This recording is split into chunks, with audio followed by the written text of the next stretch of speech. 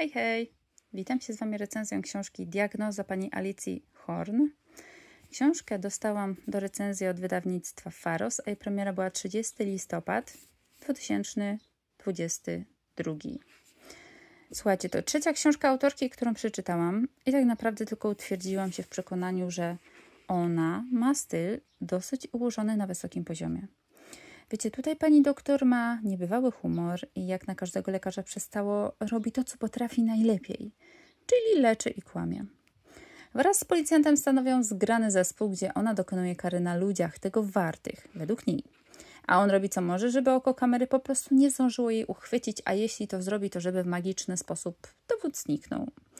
Jednak po jej wybrykach, które były w tomie wcześniejszym, mm, do których pokrótce tutaj właśnie mamy wró wrócone, Nastał czas na prawdziwą robotę. No, policjant prosi ją o pomoc w rozwiązaniu pewnej sprawy, na co godzi się z radością, no bo raczej e, rzadko ją właśnie o coś tam ją prosi.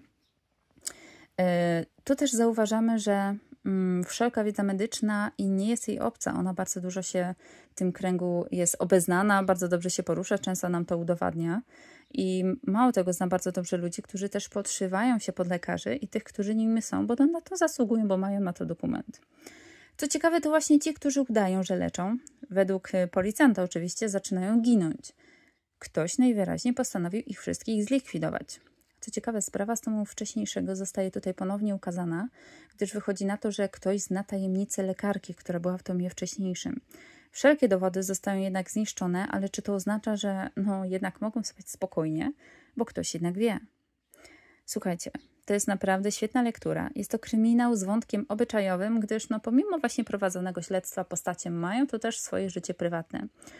Czasami nie wiedziałam, czy metody były tutaj bardziej niekonwencjonalne. Samej lekarki, może lekarze, którzy udawali swoją procesję, czy może nawet i tego naszego policjanta.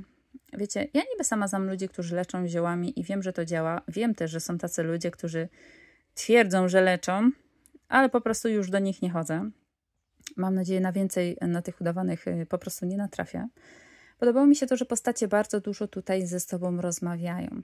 Wiecie, czasami, kiedy coś knuli, to byłam naprawdę bardzo ciekawa ich pomysłowości, bo to nie są takie zwykłe, y, że tak powiem, hasztagi rzucane sobie od tak. Oni naprawdę mieli o czym myśleć i o czym rozmawiać. Bardzo mi się podoba ten duet, gdyż oni wzajemnie się uzupełniają. Musieli naprawdę mocno na siebie uważać, gdyż przyszło im się zetknąć z ludźmi o bardzo dużych wpływach. Praktycznie do samego końca jesteśmy trzymani w dużej niepewności, no bo wciąż grozi im niebezpieczeństwo i nie wiadomo, czy ktoś się tam ujawni, czy może jednak im się uda ujawnić przed nim.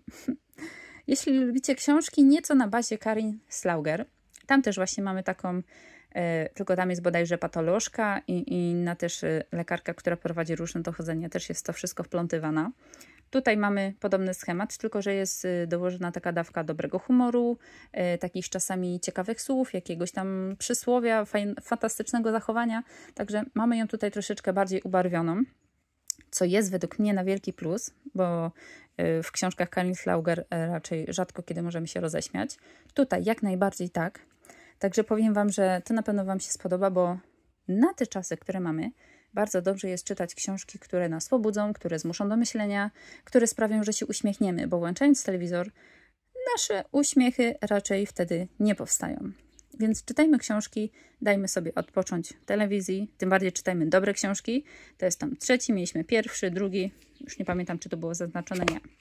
To jest tom trzeci, widziałam, że wyszedł tom czwarty, yy, na razie go nie posiadam, czy będę miała też, nie wiem aczkolwiek powiem Wam, że każdy z nich jest ze sobą powiązany, to co się działo pierwszy, drugi, trzeci, więc yy, wypada znać je wszystkie mniej więcej po kolei, tym bardziej, że w tym mamy dużo wrócone do tomu wcześniejszego. Więc wspaniała seria, z całego serca Wam ją polecam, u mnie 10 na 10. Żegnam się z Wami, pa pa pa!